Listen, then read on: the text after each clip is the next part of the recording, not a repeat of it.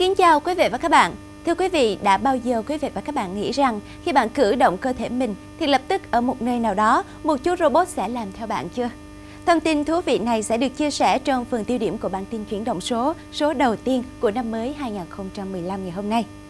Hiện nay, các tài khoản cá nhân trên Facebook bị lấy cắp đã trở thành nỗi lo của cư dân mạng. Vậy làm thế nào để phòng tránh mã độc tự động chia sẻ link lấy cắp tài khoản? Sẽ không khó khi bạn theo dõi phần gốc thủ thuật của bản tin ngày hôm nay. Và vẫn như thường lệ, phần tin vắn công nghệ sẽ mở đầu chương trình với những thông tin đáng chú ý như sau. Xe lăn thông minh hỗ trợ người khuyết tật Google kết thúc năm 2014 bằng Flappy Bird của Hà Đông. Kính thông minh giúp ngủ ngon. Và bây giờ, mời quý vị và các bạn bắt đầu theo dõi nội dung chương trình. Một nhóm chuyên gia vật lý trị liệu và nhà khoa học Chile vừa phát minh ra một loại xe lăn thông minh có khả năng tự nâng người dùng theo chiều thẳng đứng, từ đó giúp họ xoay sở dễ dàng hơn trong hoạt động hàng ngày. Anh Chuan Ayala là một trường hợp bị liệt bẩm sinh và có cuộc sống gắn chặt với chiếc xe lăn. Nhưng giờ đây anh đã có thể dùng nhà vệ sinh một cách dễ dàng, mở cửa sổ, lau rửa chén đĩa và những việc khác mà trước đây anh không thể làm đối với xe lăn bình thường. Theo công ty chủ quản Kieran giá bán của một chiếc xe lăn thông minh vào khoảng 1.600 đô la Mỹ. Theo một số nguồn tin công nghệ, trình duyệt 20 năm tuổi của Internet Explorer của Microsoft rất có thể sẽ bị khai tử và thay thế bằng một trình duyệt hoàn toàn mới. Cụ thể là trình duyệt mang tên mã Spartan, vốn được cho là sẽ xuất hiện trong điều hành Windows 10 sắp tới của Microsoft. Tuy là một trong những trình duyệt Internet đầu tiên trên thế giới, song do hiệu năng kém tối ưu và trải nghiệm kém thân thiện, Internet Explorer ngày càng đánh mất cảm tình của người dùng vào tay các đối thủ lớn như Google Chrome hay Mozilla Firefox. Ngày 31 tháng 12 năm 2014, gã khổng lồ tìm kiếm Google đã kết thúc năm 2014 bằng một đoạn phim điểm lại những câu chuyện và sự kiện nổi bật nhất trong năm vừa qua. Trong đó hiện tượng game di động chú chim đập cánh Flappy Bird của nhà lập trình người Việt Nguyễn Hà Đông đã được chọn sánh vai cùng vòng chung kết bóng đá thế giới World Cup 2014, trào lưu dội nước đá Ice Bucket Challenge hay sự kiện phóng thành công tàu thăm dò Rosetta của NASA xuống bề mặt sao chổi. Game di động Flappy Bird của Nguyễn Hà Đông đã gây sốt trên chợ ứng dụng tại hai hệ điều hành iOS và Android trước khi bị tác giả gỡ bỏ vào đầu năm 2014. Một chiếc kính thông minh mang tên Retimer sẽ giúp các công nhân phải làm việc theo ca hay người bị lệch múi giờ được ngủ ngon bằng cách điều chỉnh lại nhịp ngủ sinh học của họ. Trung tâm Kiểm soát Dịch tễ Hoa Kỳ cho biết khoảng 1 phần 3 người dân Mỹ không ngủ đủ giấc và chiếc kính Retimer từ Đại học Flinders, Úc là giải pháp cho vấn đề này. Khi đeo kính lên mắt, thiết bị sẽ phát ra những luồng sáng màu xanh lục, vốn được cho là màu sắc hiệu quả trong việc điều chỉnh giấc ngủ, tương tự như một phiên trị liệu bằng ánh sáng, từ đó giúp mang lại giấc ngủ ngon cho người dùng.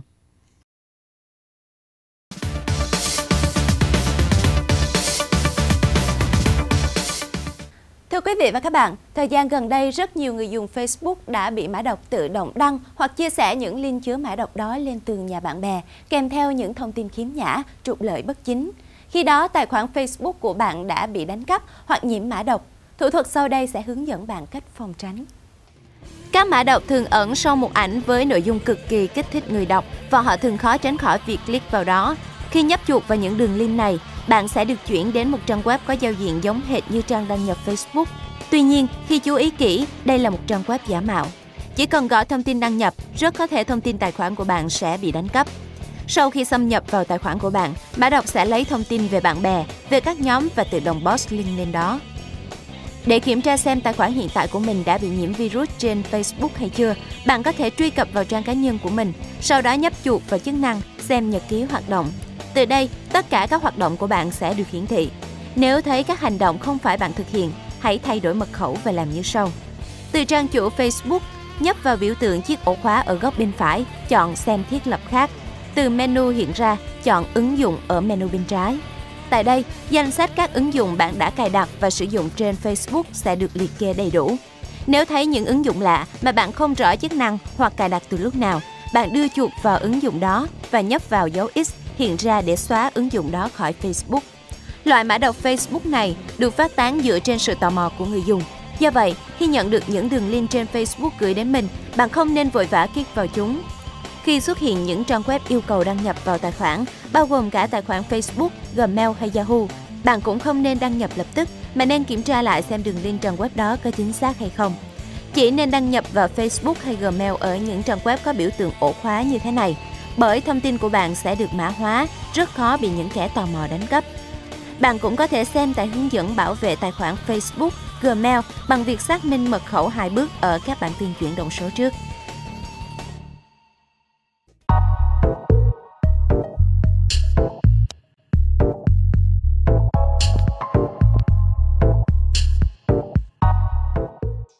Một nhóm sinh viên tại trường Đại học Bách khoa Thành phố Hồ Chí Minh vừa chế tạo thành công một robot điều khiển từ xa thông qua cử chỉ con người và có thể ứng dụng trong nhiều lĩnh vực như thám hiểm ở những nơi nguy hiểm, độc hại, sửa chữa đơn giản ở những khu vực mà con người khó tiếp cận, phục vụ trong quân sự, vân vân.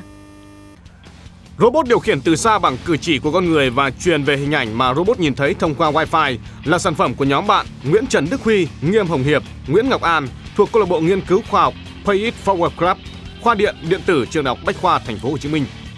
Robot có cấu tạo 4 phần, phần khung bánh xe giúp robot điều khiển linh hoạt. Phần cánh tay được thiết kế gồm cẳng tay, cánh tay và bàn tay. Các khớp vai, cùi trỏ được gắn động cơ điều khiển dựa trên vị trí tay của con người trong thực tế. Khớp cổ giúp định hướng đầu robot. Ngoài ra, phần đầu robot còn được gắn thêm hai camera để ghi nhận hình ảnh từ môi trường thực tế về LCD ở trạm chính và LCD trước mặt người điều khiển.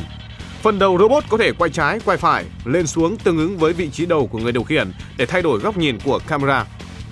Để điều khiển được robot này, người điều khiển cần phải mang 5 cảm biến đo quán tính MIU. Trong đó 4 cảm biến được đeo trên hai cánh tay và cẳng tay để ước lượng vị trí của cẳng tay so với vai.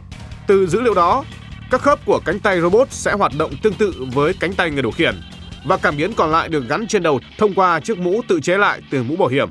Chiếc mũ này còn được trang bị một màn hình LCD đặt ở trước mắt người vận hành để hiển thị hình ảnh truyền về trực tiếp từ môi trường hoạt động của robot, giúp người vận hành quan sát được hiện trường từ xa. Toàn bộ dữ liệu truyền nhận giữa thiết bị vận hành và robot đều được thực hiện qua mạng không dây.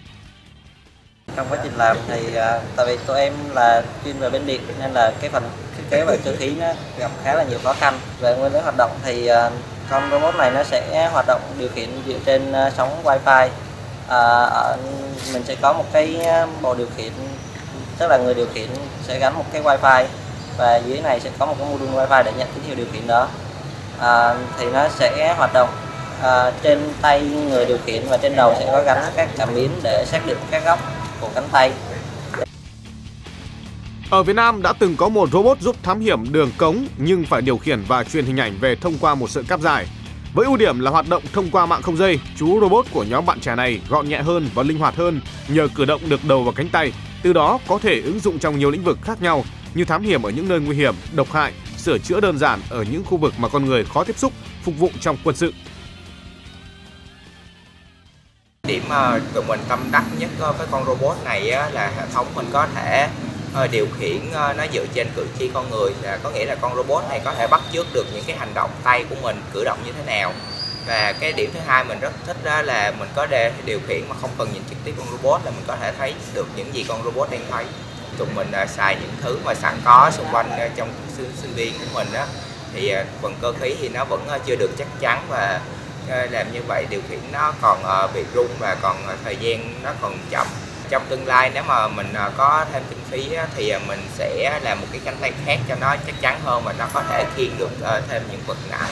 Tùy vào những cái lĩnh vực xác định thì mình sẽ phát triển về cái chức năng. Thì ví dụ như nó có thể giúp việc được trong nhà nếu mà nó có thể mang ờ, ờ, mang được vật nặng á thì những người già hoặc là những người mà người ta không có khả năng đi lại người ta vun vác những vật nào á, thì mình có thể áp dụng trong những vực Tuy dừng lại ở mô hình và chưa đạt đến mức hoàn thiện tuyệt đối nhưng robot mà nhóm bạn trẻ tại trường đại học Bách khoa thành phố Hồ Chí Minh vừa chế tạo đã mang lại nhiều tín hiệu mới về điều khiển và truyền dữ liệu thông qua mạng không dây. Nếu tiếp tục nghiên cứu và phát triển cao hơn, chắc chắn chú robot này sẽ trở thành một công cụ đắc lực cho con người. Sản phẩm này đã được giải nhất toàn quốc cuộc thi thiết kế sản phẩm sáng tạo từ vi xử lý của hãng Texas Instruments 2014.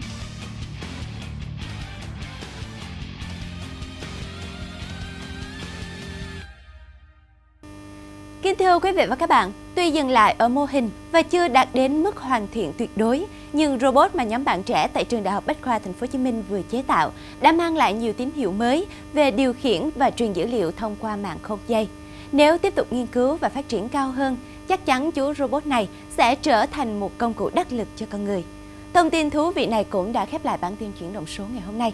Tạm biệt quý vị và hẹn gặp lại ở bản tin chuyển động số 161 được phát vào ngày 13 tháng 1 năm 2015. Thân ái, chào tạm biệt.